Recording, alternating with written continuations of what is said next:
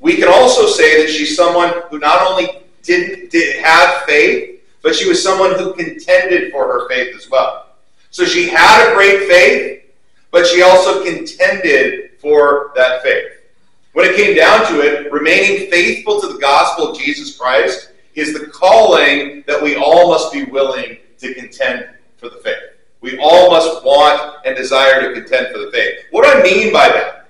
Well, the little book of Jude helps us to understand that. Jude is the book that takes place, or that, comes right before the book of Revelation. So if you want to turn there, it's only one chapter. So you'll hear me say, I, I won't say turn to chapter 1 or chapter 2, because there isn't a chapter 2. It's just all one. So it's one of those books that you can look at and you can read just in a very short amount of time. And we're going to go through a large portion of it uh, here uh, this morning uh, so that we get an understanding of what it means to contend for the faith. We're going to take a little break, just one week break from our study in the book of Galatians. We'll go back to it next week. But as I was as I was sitting there uh, processing things at the Northwest Baptist Convention, and then thinking about uh, life, and then when I saw that picture, Jeannie's life as well, uh, I couldn't help but think about uh, people like Verla, Jeannie, and the multitude of others throughout the Northwest Baptist Convention who faithfully gave us examples of what it means to contend for the faith. And so I really was, was stirred that I needed to bring this message this morning so that we would all know what it means to contend for the faith. So if you haven't already, turn to the book of Jude. Well, who wrote the book of Jude and who did he write to? That's the first thing that we find here in verses uh, 1 and 2. So look what it says Jude, a servant of Jesus Christ and brother of James, to those who are called, beloved in God the Father, and kept for Jesus Christ. May mercy, peace, and love be multiplied to you. Now, we don't know much about Jude. All he says about himself is that he's a servant of Jesus Christ. In fact, the word that's used there in Greek is literally a slave. Now, when we think about slavery, of course, our mind automatically goes to very negative things. But the idea here is that, that he feels like he is a bond servant to Christ and, and, and a good master that he will serve with all of his heart, with all of his passion. It also says that he is the brother of James. This could mean that he was a half brother of Jesus. We don't know for sure. He doesn't really spend a lot of time with that. But uh, since James was the brother of Jesus, it's, it's very possible that he was a half brother of Jesus. It says also who he wrote to. He wrote to those who were called, beloved, and kept. Okay, again, look what it says. To those who are called, beloved in God the Father, and kept for Jesus Christ. Now, it's most likely that he's writing to a church here, but it's relevant to all Christians because really it speaks of our past, our present, and our future. All believers are people who are called, beloved, and kept in Christ Jesus. Amen? So, so really, it's not just this church that he's writing to or this group of people. It's really all of us that this, this book applies to. Well, why did he write it? We find that in verse 3. Look what it says.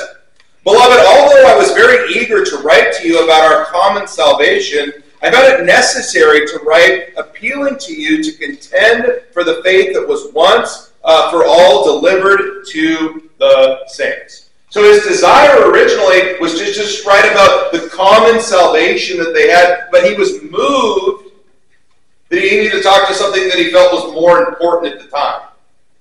And that really becomes his thesis statement of what he wants to tell. He wants his readers to contend for the faith. To contend for the faith. Now, when he says the faith here, that term means the entirety of the message that was taught by the apostles and held in common by the believers. As we've been looking through the book of Galatians, we've seen really the core teaching of the faith, and that is the gospel of Jesus Christ. As, I, as I've been saying throughout that, that study, and as I will continue as we continue in that study, that we have to get that right first. There's a lot of theological concepts that we learn when we start to study God's Word. When we really want to get into a deep study, there's a lot of theology. There's a lot of very interesting theology. There's theology where there's disagreement. There's, this, there's, there's theology where, where we don't really understand everything about But this is what we must get the gospel of Jesus Christ. Everything else that we believe builds on that truth. That there is one way to salvation, and that way is through Jesus Christ, the way, the truth, and the life. Jesus said it to himself, or said it himself. No one comes to the Father except through who? Through Jesus. Just through Jesus. His death, burial, and resurrection is that core uh, moment that we see in, in history when God made a way where there was no other way, that we could be in right standing or right relationship, not because of our works, but because of the finished work of Jesus Christ on the cross. So he tells them, contend for the faith. That are contend or defend the truths of Christianity against, the, uh, against them being diluted or perverted, as we shall see. In fact, uh, uh, he, he, goes in the next section here, uh, and he's going to spend a lot of time talking about false teachers. In fact, a good portion of this letter is dealing with the teachings of the false teachers. Whatever this church is, whatever this church that he's writing to is, or maybe it's a multitude of churches that he's writing to, whatever, whatever this group is, they were dealing with false teachers who were coming into the church and diluting and perverting the truth of the gospel. In fact, he says in verses 14 through 16, he says that they're ungodly, that they're sexually immoral, and that they deny Jesus.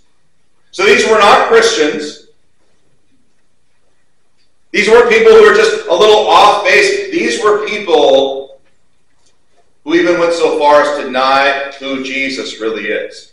Now, we're not going to look at every single one of those verses, but verse 19 uh, really sums up the false teachers well. He says in verse 19, It is these who cause divisions, worldly people devoid of the Spirit. She says a number of things about them. They, they're setting out to cause divisions. You want to find somebody who's going to cause problems in a church? Somebody who's set out to cause divisions?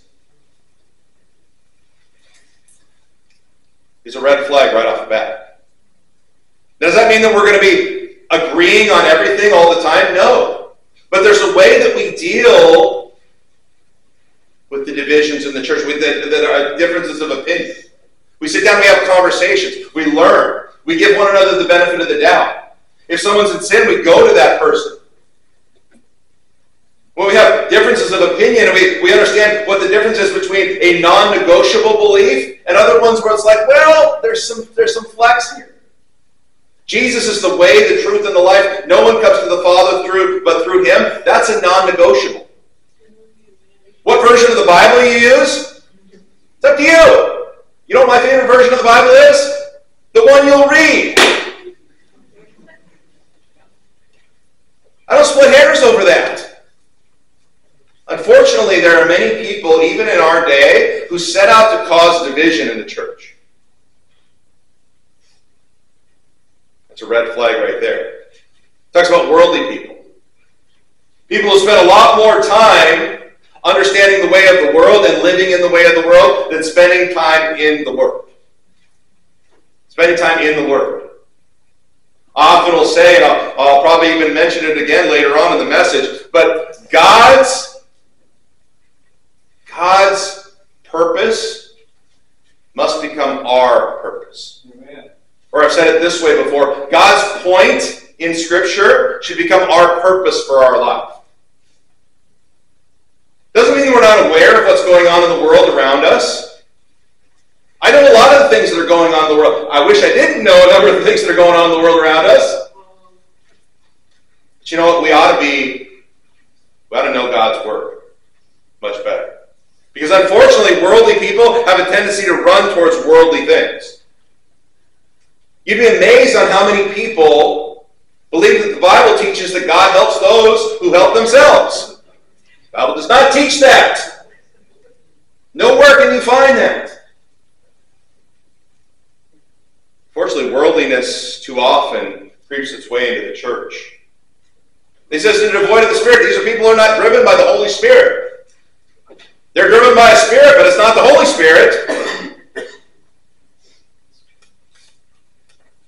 Well, we're not going to spend a bunch of time focusing on the false teachers, though, because really the focus here is, is what Jude says about contending for the faith.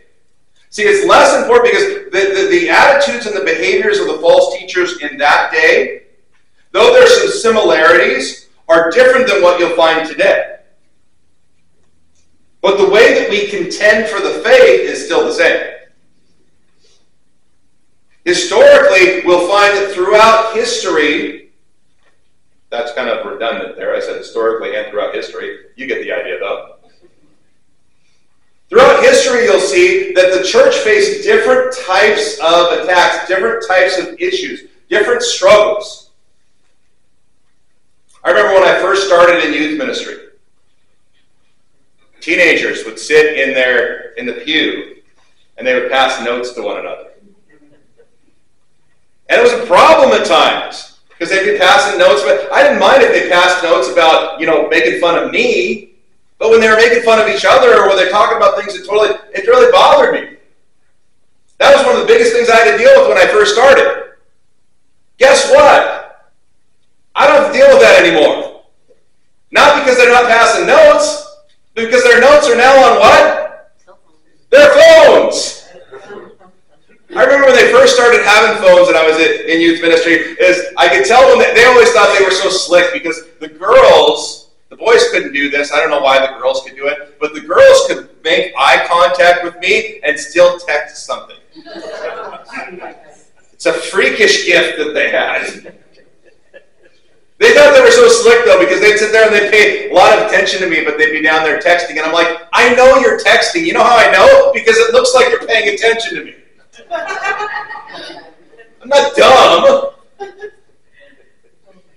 Obviously, Jude didn't have to deal with anything like that.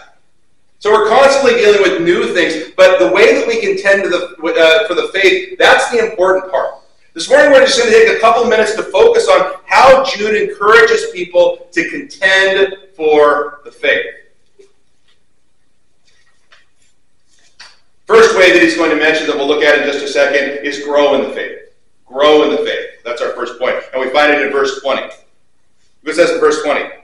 But you, beloved, build yourselves up in your most in your most holy faith, and praying in the Holy Spirit, keeping yourselves in the love of God, waiting for the mercy of our Lord Jesus Christ that leads to eternal life. Stop there for a moment.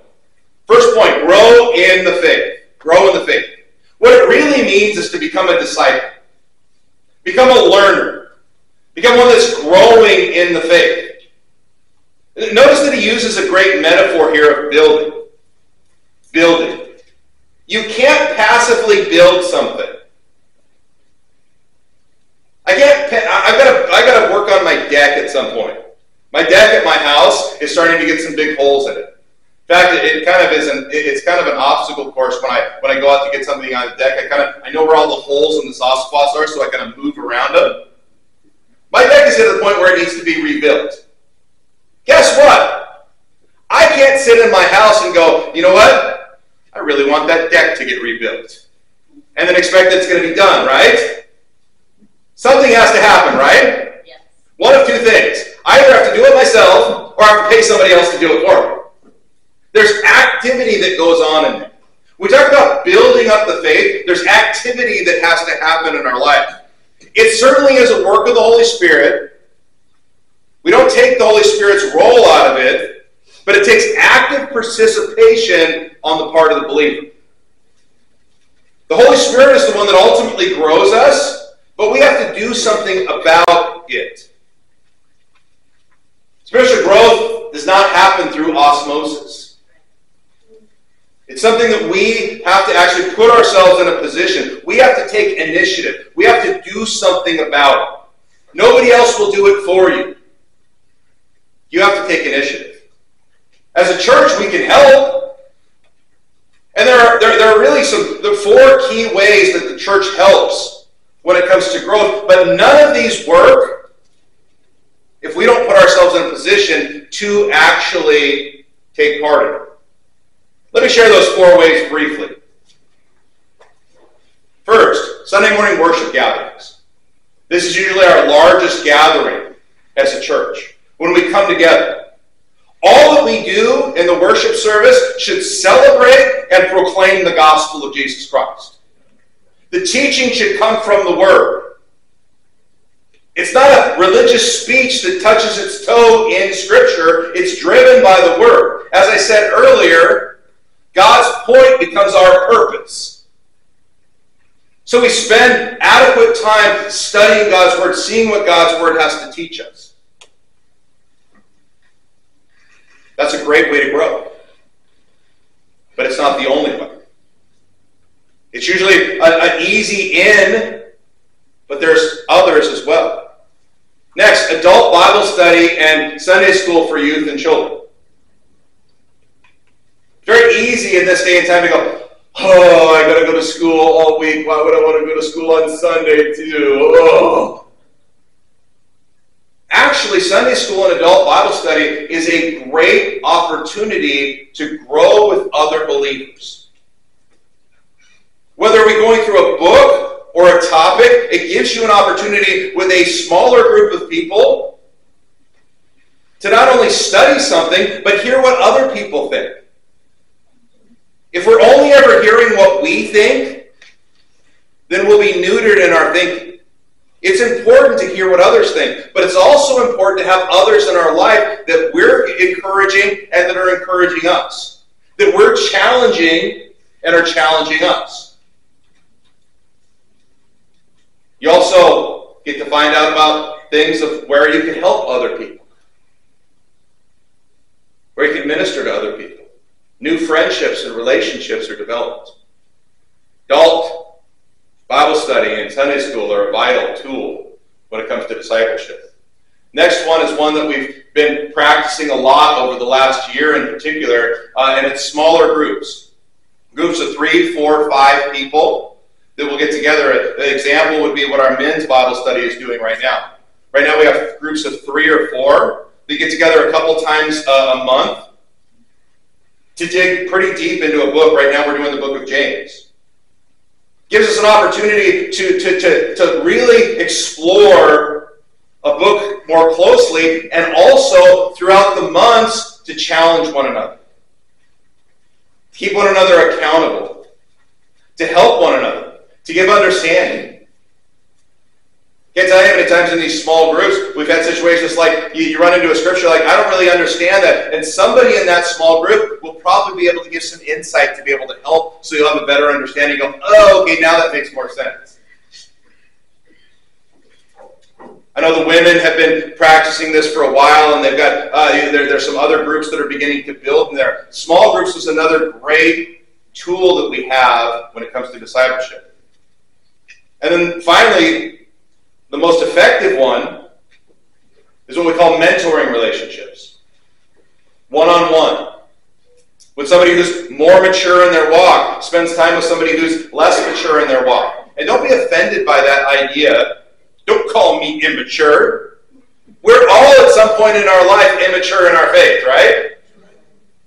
We all can benefit from having somebody in our life who's walked with Jesus longer I remember the first time I met uh, a man named David Young. None of you probably know David Young, but David Young was a, pa- a pastor up uh, at the church that April went to uh, when her and I got married.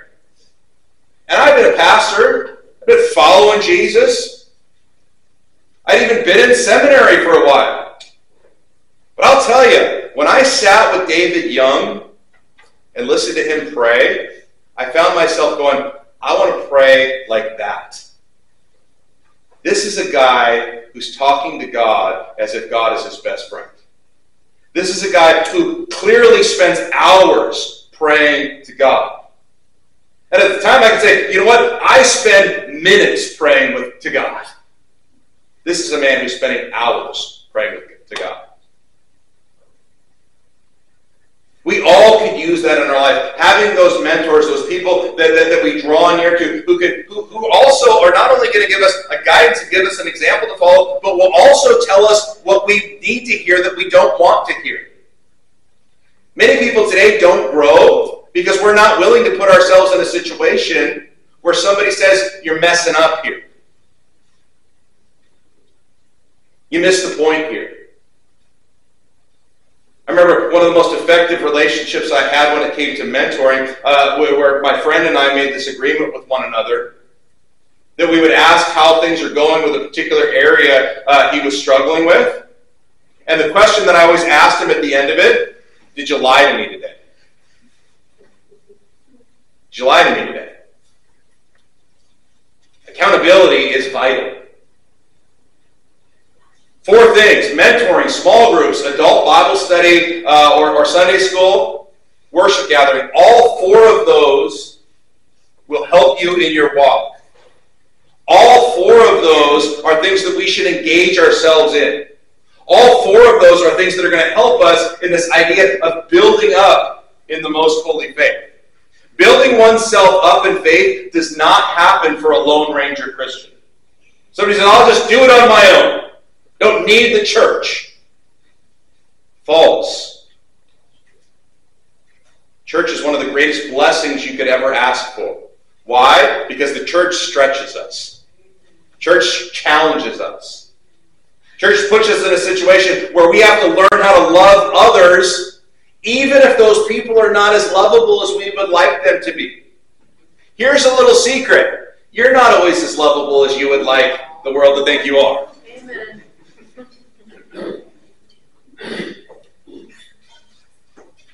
We don't need more Lone Ranger Christians. We need to be built up in the, the most holy faith. Next thing he says in verse 20 there is pray in the Holy Spirit.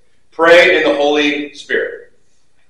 Just building yourself up in the most holy faith, praying in the Holy Spirit. Prayer is always linked to spiritual maturity. Prayer is always linked to spiritual maturity. You want to know how spiritually mature you are? How much have you prayed this week? I'll tell you a lot. If I asked you, what stood out to you for those who knew her? What stood out to you about Verla Walston? I guarantee you the word prayer would come out of your mouth. In fact, if you were here and you heard about her testimony, when she was dealing with, with, with, problems pertaining to her alcoholic husband, what did she do? She beat him over the head, right? No, she prayed for him. And God delivered him from his addiction. Notice that it says pray in the Holy Spirit. Let me mention what this isn't. Some people mistakenly mean think that, oh, this means that you need to have some spiritual or some secret prayer language or that you need to speak in tongues or something like that. That's not what he's getting at. He actually doesn't touch on that at all in this letter. He doesn't say one thing about it one way or another. When he talks about praying in the Holy Spirit, it means a prayer life that is guided by the Holy Spirit. It's not a self centered or mechanical prayer, but it's an honest prayer. An honest prayer from the heart. An honest prayer that the Spirit is leading us to. You know I found in my life? That my prayer life is the most powerful when I come to the end of my prayer list. And I just stop and I wait until God puts things on my heart. And every time I get to the end of my prayer list and I take the time and I say, I'm just going to stop and I'm just going to, I'm going to listen, God will put different people or situations on my heart. Nine times out of ten, I have no idea what's going on in those people's lives. Absolutely no idea. I don't know why God put that person on my heart. Do you know who does? The one I'm praying to. He knows. He knows why that person is on my heart. Praying in the Holy Spirit, guided by the Spirit. Next, we abide in God's love. Abide in God's love. Look at verse 21. Keep yourselves in the love of God, waiting for the mercy of our Lord Jesus Christ that leads to eternal life. Abiding. Abiding means staying, holding fast. What it really means is to follow the commands of Jesus to follow the commands of Jesus. We can't truly abide with Jesus when we're wallowing in sin. It's not going to happen. It doesn't mean that we're lost. It doesn't mean that he rejects us. It doesn't mean that we were once saved and now we're not saved anymore. That's not how that works. We're saved, but we're not abiding. Think about it this way. When does the sun shine? When does the sun shine? The day, but it's not cloudy. The sun shines all the time. 100% of the time the sun is shining. If the sun stopped shining, guess what? We'd stop living. It's that simple. Now, we might not see the sun. Some of you who have lived in the Pacific Northwest are going, What is this sun thing you speak of? when the clouds move away, that big hot thing in the sky, that's the sun. It's still there. It's there right now. We just can't see it because it's raining. At nighttime, still there, just on the opposite side of the world.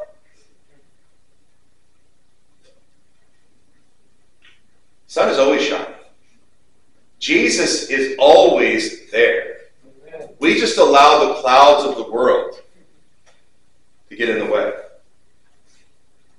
I love listening to books on tape uh, when I go on longer trips. Now, of course, it's not on tape anymore, it's all digitized. But I've got it on my phone, and actually, the way that it works is that I have a little thing in my car that when uh, I'm listening to it on my phone, it actually through Bluetooth will go straight through that and play through the radio. So I just gotta just turn it on, and I can just listen to it right through the radio. It's great until I get down past Battleground.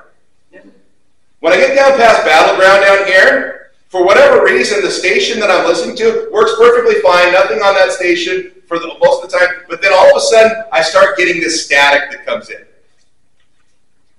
And then all of a sudden, like, I'll, I'll get a song from Taylor Swift, and I'm like, ah, back. And then I drive a little further, and it comes back. You know, a lot of times we allow the things of the world to cloud out the voice of Christ.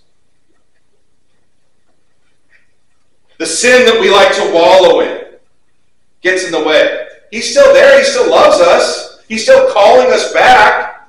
But we're just wallowing in sin. The call here is to abide, to get back to where we need to, to, to repent, to turn away from these things, to reject these things. Recognize that the sun is always shining. We just need to come back to it. Next, living in Christian hope. Living in Christian hope.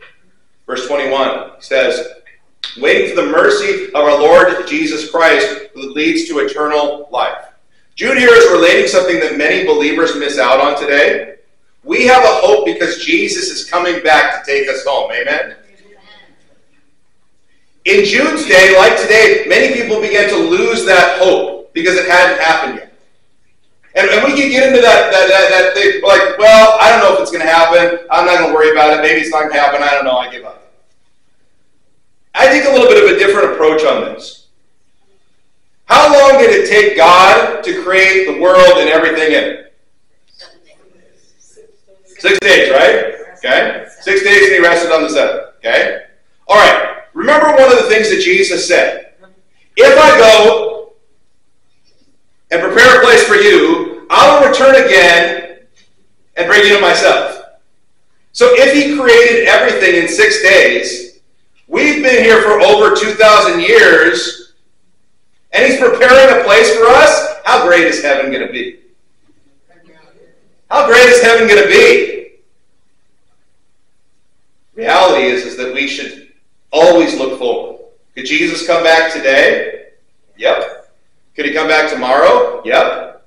Could it be 10 years from now? Yep. But the good news is this He's going to.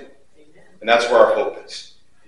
Look at verses 22 and 23. It says, Have mercy on those who doubt. Save others by snatching them out of the fire. To others show mercy with fear, hating even the garment stained by the flesh. Last point is this practice evangelism and ministry. Practice evangelism and ministry. In these verses, we see two approaches to both evangelism and ministry. Both of them are there. These are not two separate things in, in, in the way that Jude approaches it. We evangelize and we minister to people. Two approaches that he says. Some need to be dealt with gently. Some need a gentle word. Met a young lady here just a, a couple days ago, and I invited her to uh, to church, and she said that uh, she'd like to come, but she she's afraid. She's afraid because she's been hurt by churches in the past. My response is, How dare you? How dare you say that about a church? No, I didn't say that. Of course I didn't say that. She didn't need somebody to judge her. She didn't need somebody to look down at her. She didn't need somebody to yell at her. She didn't need somebody to argue her about her experiences at church. But it says she got a gentle word. I said to her, I understand. I know a lot of people who have been hurt in churches before. And I know it's hard. But I encourage you to really think about maybe giving another church a chance. Maybe, maybe, maybe you'll find that there's something good for you. I can't promise you anything, but maybe you find something good there. Gentle word is always going, uh, with, with, with certain people, are always going to work better than a harsh word. Others, though, need to be snatched out of the fire. Snatched out of the fire. Some people need to metaphorically be shaken, right? I would not recommend that's a good evangelism plan to actually literally shake people. Okay, don't really do that. But sometimes we need to be shaken. I was a guy in my life that I needed to be shaken. I needed to be snatched out of the fire. I was heading down a path that would have led to death and destruction. A gentle word was not enough. I was like the kid who was running to the street and a car was coming. Mom doesn't go, now, Johnny boy, you might not want to do that. Cars hurt when they hit you. Do mom do, does mom do that? No, she says, stop! She yells out. Why? because her kid's in mortal danger. Sometimes we have to snatch people out. Sometimes we have to say hard words. Sometimes we have to say things that people won't like to hear. I was telling my daughter just the other day that if I wrote a book, I think that one of the books I would write would be called The Gift of Shame. The Gift of Shame. We hate shame in our world. We don't want to live in shame. But the reality is, is that God has given us the ability to feel shame over things that we shouldn't do, that we shouldn't be involved in, that are not good for us. Part of snatching out of the fire is understanding that that everything I, what I'm doing right now might hurt me. What I'm doing may cause destruction, pain to other people. Sometimes we need to snatch people out of the fire. But here's a warning that he gives. In our attempts to reach people and to minister to them, don't allow yourself to fall into sin. Don't allow yourself to fall into sin. We can't say, well, I got to go reach these people, so I'm going to sin just a little bit, though, but I'll have my fingers crossed, so it really won't count. No, I love the way that Eugene Peterson wrote this in the message. He said this He said, Be tender with sinners, but not soft on sin. The sin itself stinks to high heaven how true that really is. Reaching the lost might call us to places we never thought we would go, but it will never call us to join people in their sin, ever. At no point will it do that. So here's the challenge Are you contending for the faith? Can you say this morning, yes, I'm growing in my walk with Jesus. I'm praying consistently. I'm abiding in Christ. My hope is in Jesus' imminent return and I'm consistently practicing evangelism and ministry. If that's you, praise God. But my feeling is that there are at least some, if not many, here this morning that would say, you know what? I could stand to grow in at least one of these areas. Or, or maybe two of these areas.